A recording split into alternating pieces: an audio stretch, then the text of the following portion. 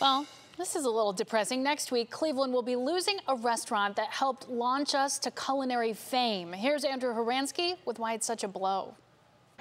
It was an icon along East 4th Street, the flagship of James Beard award winning chef Jonathon Sawyer. But now, in little more than a week, the Greenhouse Tavern will be no more. A place praised in Bon Appetit and Esquire, showcased on the Food Network and Travel Channel, an institution that helped revitalize Cleveland's food scene.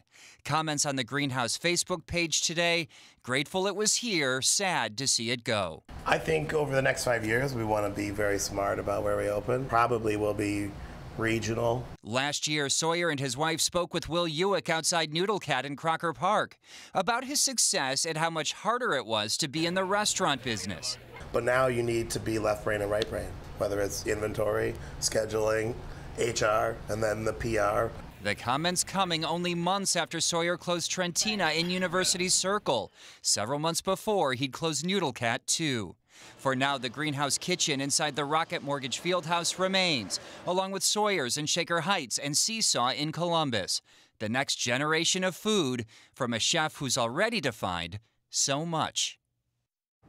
Greenhouse closes a week from Sunday. We reached out to Sawyer today. He said he's not yet ready to talk about the closing just yet, but once the final meal is served at Greenhouse, he will be ready to sit down and explain. Talk about a career that's been defined by more than just restaurants. Sarah, he's had a vinegar business. He's written two books with the next chapter now being written. Mm, certainly sad to see this one go. Thanks, Drew. Sure.